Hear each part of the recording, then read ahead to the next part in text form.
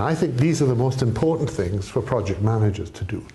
To understand their performance, effectiveness, that's the schedule performance index, two of them, and to understand the efficiency or the productivity, that's the cost performance index.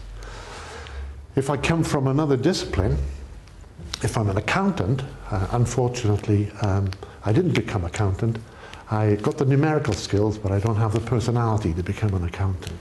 So I, I, ended up as a kind of very poor engineer, but I can still understand some of these things. So really, we can look at some things called variances, and that's what accountants like to see because they like to see the, the difference right now at this point in time. And the first thing they want to look at is this one here, the difference between the earned value and the cost, and that's the cost variance, surprisingly enough. So you've got the cost variance as being the earned value minus the actual cost. And of course, you can see from my diagram that that's negative. The negative variance, it's adverse, means it's a bad deal. So this is a failing project. The other variance that would attract some attention would be this one here, the variance between the plan and the earned value. And again, that's known as the schedule variance. This time it's on cost. So that would be the earned value minus the planned value. Again, negative, showing an adverse variance. And you're probably ahead of me by now. The other thing we would want to look at is this schedule variance on time. That one there was the schedule variance on cost. This schedule variance on time is going to be simply this one here, schedule variance time. And now the parameters going into there are the original duration, OD, minus this uh, ATE, the actual expended time. That's going to be a negative number in this setup.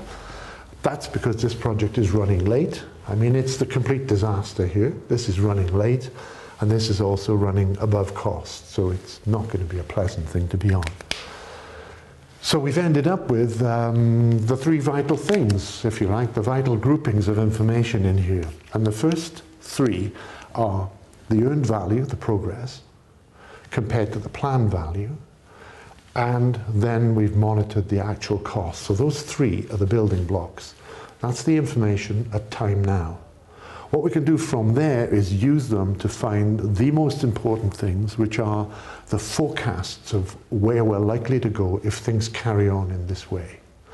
Those were the estimated completion and the uh, forecast project duration. And the third pieces of intelligence that come out of this are the variances. And if you recall, the cost variance was the difference between the earned value and the actual cost.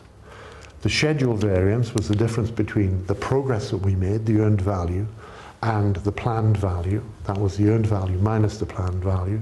And our schedule variance on time was our original duration. You'll recall that that original duration was when we should have achieved this earned value, and that's minus the actual time. And that's going to tell us how late we're running on this project.